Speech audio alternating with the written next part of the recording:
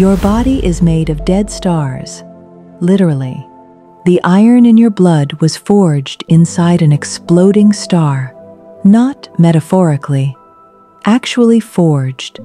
Every atom heavier than hydrogen in your body, the calcium in your bones, the oxygen you breathe, the carbon in your DNA, was created inside stars that lived and died billions of years ago. When those stars exploded as supernovas, they scattered their guts across the cosmos. That cloud of debris eventually collapsed into our solar system, into Earth, into you. You're not just in the universe. You are the universe experiencing itself. Ancient starlight compressed into flesh.